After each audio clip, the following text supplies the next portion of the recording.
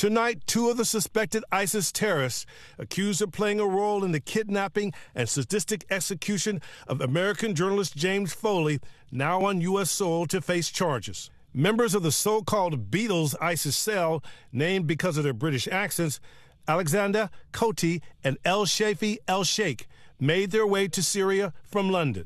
Today, they're charged in a conspiracy to kidnap, torture, and murder four Americans. Today is a good day but it is also a solemn one. The other Americans killed Steven Sotloff was a journalist who covered the Middle East.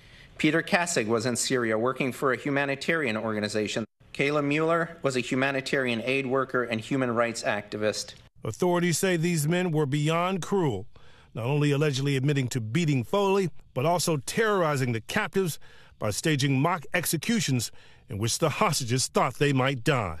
Today, the FBI director speaking to families. And while their pain may never fully subside, today, with the announcement of this indictment, we're beginning to bring them the justice they deserve. The two suspects appeared in court virtually. In order to extradite them here from Iraq, the U.S. had to agree not to seek the death penalty.